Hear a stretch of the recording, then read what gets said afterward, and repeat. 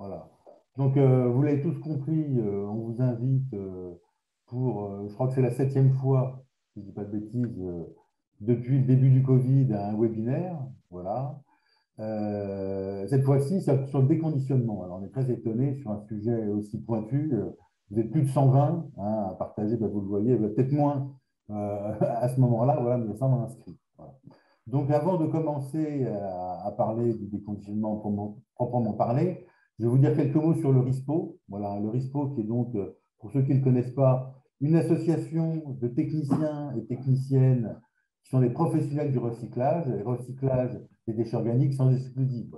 Vous avez quelques associations euh, sur la méthanisation, sur le compostage, d'autres sur les biodéchets. Voilà, nous, euh, de façon très pragmatique, nous intéressons à l'ensemble des techniques de traitement de ces déchets organiques, déchets organiques, on va dire, biodégradables. Euh, le RISPO, c'est aujourd'hui une centaine d'adhérents, hein, professionnels du compostage, de la méthanisation, mais également de toutes les compétences techniques nécessaires euh, pour en particulier faire fonctionner ces usines. Les les odeurs en particulier.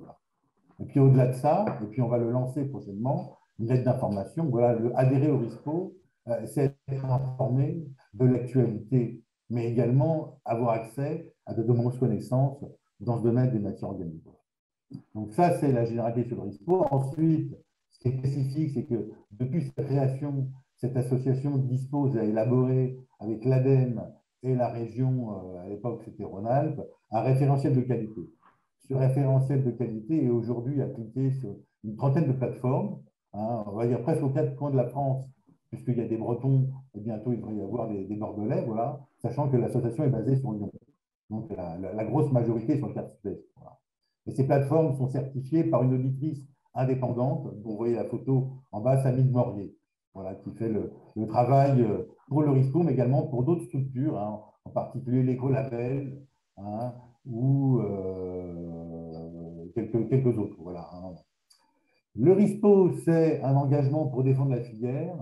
Alors, je la fais brève, voilà, on a écrit, on a interpellé les ministères quand la filière est, inquiétée. Et euh, ce webinaire en particulier, c'est aussi une manière de faire remonter au ministère les sentiments, les observations hein, des professionnels qui ne sont pas tous adhérents des grosses structures euh, qui ont euh, pignon sur rue et qui sont systématiquement invités hein, par les pouvoirs publics reconnus comme on dire, partie prenante.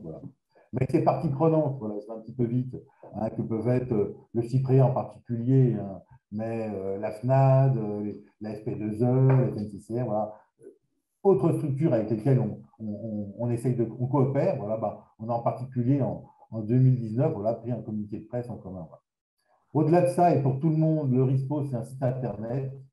Voilà, donc je vous présente l'infographie hein, qui vous accueille quand vous quand vous, connectez. C'est des activités en présentiel. Alors, on en fait beaucoup. Hein, voilà, je passe assez vite. On a été en Italie, on va avoir beaucoup d'installations. Là, la prochaine manifestation présentielle, c'est un voyage de deux jours, début octobre. Vous trouvez toutes les informations sur le site de l'association. En Belgique, pour voir des, installations. Et puis, retenez la date du 23 novembre, hein, où dans la région lyonnaise, on voit l'installation Métamolie. C'est également des sujets, donc au-delà des installations, des sujets techniques. Là, je vous montre avec l'école Veto de Lyon, ministère de l'Agriculture, on avait fait une journée euh, prémonitoire en 2007 sur les, résidus organiques et les insectes. Vous trouvez sur le site internet en accès euh, gratuit, si je ne m'abuse, toutes les dernières, euh, tous les derniers supports des manifestations que nous avons organisées sur les webinaires. Donc retenez, le RISPO, c'est le seul réseau professionnel de la valorisation organique, s'informer à 360 degrés et des séminaires. Voilà. C'est un moment assez extraordinaire pour dire, oui, sympathiser avec d'autres professionnels, parler d'autres choses que de la technique, mais en même temps être baigné dans le domaine de technique. Donc, c'est parler de choses sérieuses sans trop se prendre au sérieux. Et le sujet d'aujourd'hui, le déconditionnement, terme un peu particulier, comme je dis, vous êtes plus de 120 sur un sujet aussi spécifique. Alors j'ai tapé, comme beaucoup sur Internet, déconditionnement. Et qu'est-ce que je trouve? Prévention du déconditionnement des aidés à l'hôpital, redémarrer du bon pied, c'est des vieux, voilà, pour prévenir le déconditionnement, changer de schéma de pensée, bref, l'enfant intérieur, déconditionnement des, forces de l'ordre pour faire travailler les chiens, l'effet papillon, je suis perdu. Alors, quand je suis perdu, ben, je retourne sur le dictionnaire d'origine de l'Académie française et je vois des conditionnements. Il n'y a pas de résultat pour cette recherche. Ah.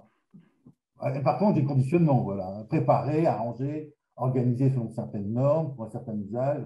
Bon, je ne suis pas très avancé. Je trouve un dictionnaire médical qui me donne une définition qui ne me plaît pas. Et puis, et puis heureusement, voilà, vous n'allez pas perdre votre temps. On trouve aussi, dans notre association, comme je dis, une, source de connaissances, voilà, des rapports du matériel. Et maintenant, ça va me permettre de donner la parole à Estelle, qui pour le coup va, va vraiment rentrer dans le sujet, puisqu'elle a, fait un travail remarquable hein, euh, de compilation de, nombreuses observations professionnelles qui sont eux-mêmes exploitants d'installations, hein, de déconditionnement. Donc, euh, l'eau à la bouche, le temps qu'elle se connaît. Voilà. Merci de votre attention et à bientôt pour de nouvelles manifestations du RISPO. Euh, il suffit de s'enregistrer sur le, sur le lien qui vous invite à, à, adhérer à la, à la liste d'information. C'est gratuit. Merci, au revoir.